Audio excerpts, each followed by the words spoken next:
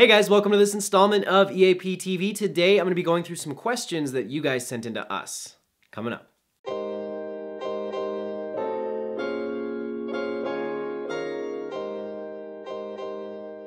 All right, guys, so the first question we have comes from Kenji Ignacio, and I hope I said your name right. He basically wants to know what he could be doing in the meantime before he's passed his exam to build up his presence on social media.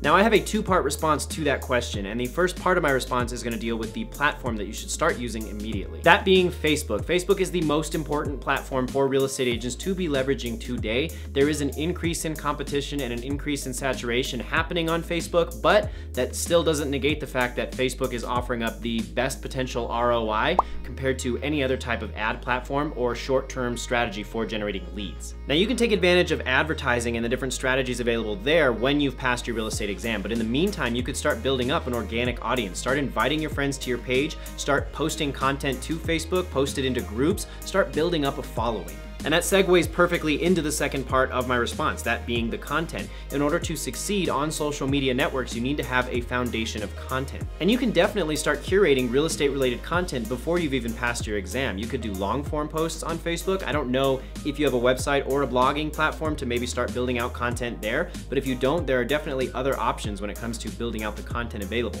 Most content is gonna boil down to three main categories for everyone, that being audio, written, and video. So blogs, podcasts, and video content. The sooner you can start exploring video specifically, the faster you're gonna start seeing momentum build up. Regardless of the outlet you choose though, it all comes down to how much value you're offering to potential prospects, and that all starts with the content. So build up that content, get on Facebook, and get going. The next question comes from our friend Beth Sterner. Does anyone know if there's an incentive for referring agents to EAP? Yes, there is. If you are interested in referring business our way, then you can email tyler at easyagentpro.com. And if you are a LeadSites user, you have access to the Help Center. You can also just search in the Help Center. There's an article detailing the process for referring business our way, as well as the incentives that go along with that. Question number three comes from Tyson. I like the new squeeze page templates. Are there more to come? Absolutely, guys. We're planning on building out more and more squeeze pages as we move throughout the rest of this year. And if you haven't seen it yet, I did do a video not too long ago about two of the most recent landing pages that we've made available to LeadSite users. I'm gonna have the link to that video right down below in the description. In that video, you're gonna see me talking about how you can make it easier for clients to schedule a time to meet with you, as well as giving clients the ability to opt into a form of yours using the one-click Facebook option. The next question we have comes from our BeatZillow Facebook group. Hi friends, looking for some help on which campaign objective to use for creating a Facebook ad to promote my listing, and hopefully get some inquiries on it. Any suggestions? TIA. Thank you in advance. This is actually an incredibly common question, and that's because there's a lot of different objectives to choose from when you're launching your Facebook ads. So I think what would be most helpful is if we actually jumped into the Facebook Ads Manager and broke down some of the objectives that you'll be using from here moving forward. Okay, so here we are in the Ads Manager. In the top right-hand corner, you have the Create Ad button right here, so let's select that. And then from there, you're gonna be presented with a wide range of different options here. You've got consideration, conversion, and awareness. So the main three objectives that you'll be using from here moving forward are gonna be traffic, lead generation, and conversions. So traffic is just meant to drive a large volume of people back to your website and that typically works really well, especially at the early stages of your site when you haven't built up much momentum and there haven't been a lot of people visiting your website. This is a great way to get the ball rolling. And you can see down here below, you've got traffic as your objective. You can name your campaign, you can create a split test, and it does give you a little insight into what this objective does. So send more people to a specific destination on or off Facebook. Next, you have lead generation. And when you use this objective, you're gonna be taking advantage of native lead capture forms available on Facebook, meaning you don't have the opportunity to use the Facebook ad and squeeze page combination. What are the pros to doing this? The Facebook lead capture forms offer very clear, clean, and concise data, but the biggest drawback that I've noticed with these is that they don't convert as well as using the Facebook ad squeeze page combination.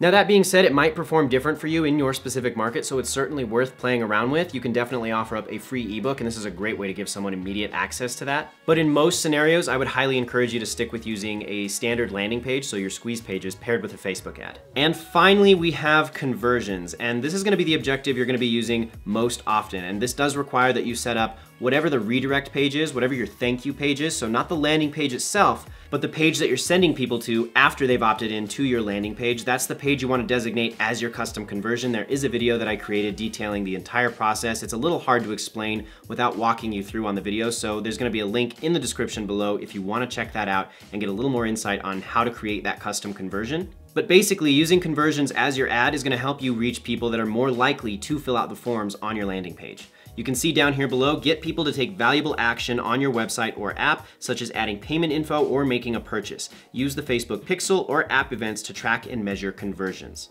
Those are gonna be the three objectives that you utilize most often moving forward. Typically, you wanna be sticking with custom conversions, but if you want to experiment with lead generation and traffic, I'm not gonna say no to that. Our last question again comes from the Beat Zillow group and our friend Jonathan. He asks, how many clicks have you received? Leads? It seems I get a lot of clicks on my ads, but no leads. Now, this was actually a question that he had in response to someone who shared their ad in the Beat Zillow group. It was a very clever ad. I believe it was Seth who shared it. And if that's the case, that means you need to reevaluate the landing page itself because the ad is doing its job. It's driving people back to your landing page. And if they're not opting in, then that might mean there's a disconnect in terms of the messaging. So your Facebook ad might be offering something up that's not really fulfilled when the user lands on your landing page, or the value proposition of your landing page isn't great enough to get the user to opt in. So just think about how you can add more value to the page that the user is landing on. If if the list of single story homes isn't cutting it, then throw in a free ebook, a buyer's guide, for example. And if that's not cutting it, then also add a video and start establishing a face-to-face -face connection and building trust on the landing page. Take it by stages, but if you found a Facebook ad that's getting that many clicks and it's performing really well, then I would highly encourage you to keep from abandoning that angle. Just